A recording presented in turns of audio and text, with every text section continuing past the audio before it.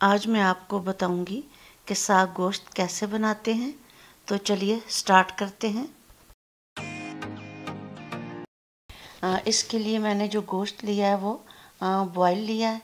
आप लोग बॉयल भी ले सकते हैं और कच्चा गोश्त भी ले सकते हैं और साग, पालक का और मेथी दोनों मैंने धोकर ऐसे बॉयल कर लिया था। तो इसके अलावा प्याज एक अदद, लहसुन जो इसमें लिया फिर इसमें मिसाले जो इस तरह से हैं, नमक एक spoon, red chili one spoon, chili flakes one spoon, हल्दी वन स्पून और सफ़ेद ज़ीरा वन स्पून। एक पैन में ऑयल लिया और प्याज फ्राई कर लिए, हल्के से उसको फ्राई करके साथ ही लहसुन भी शामिल कर दिया।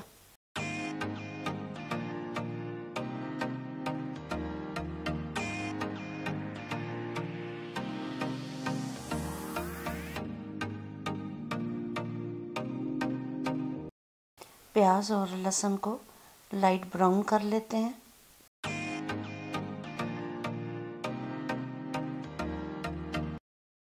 प्याज हमारे ब्राउन हो गए।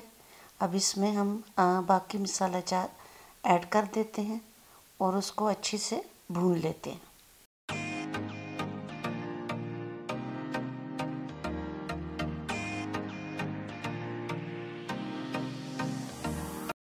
अब इसमें गोश्त ऐड कर दिया और अच्छे से फ्राई कर रहे हैं।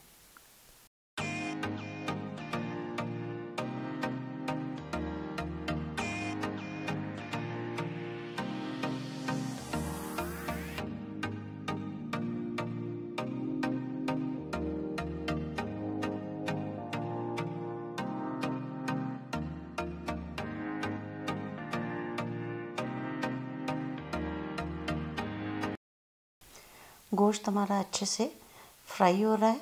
इसको मज़ीद थोड़ी देर हम और फ्राई करेंगे।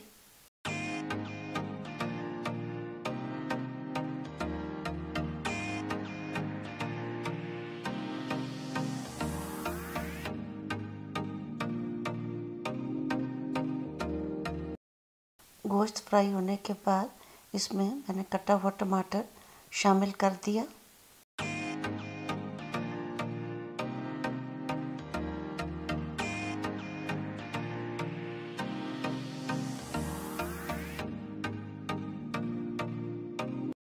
टमाटर डालने के बाद इसको थोड़ी देर कवर कर दें ताकि टमाटर अच्छे से गल जाएँ। टमाटर हमारे अच्छे से गल गए हैं इसको हम मिक्स करते हैं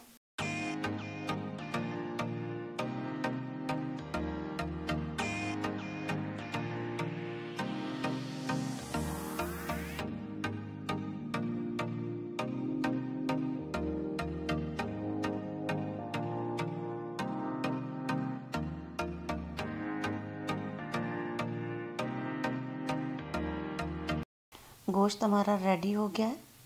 अब इसके बाद इसमें हम बॉइल्ड साग जो है वो शामिल कर देंगे।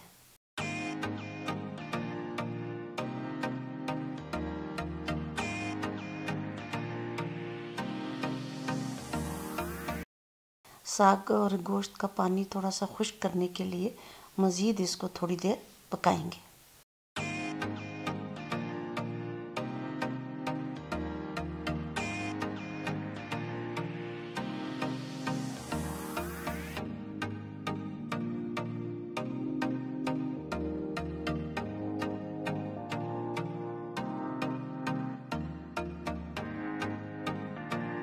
साग गोश्त हमारा तकरीबन रेडी है। इसमें देखें तो अब पानी बिल्कुल खुश्क हो चुका है।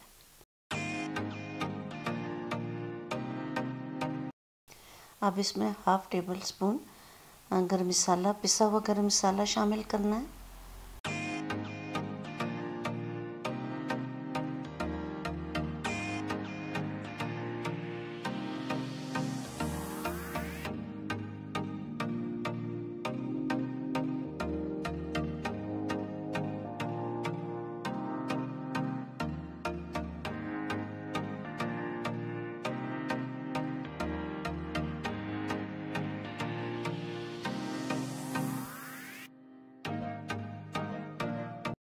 साग गोश्त रेडी है।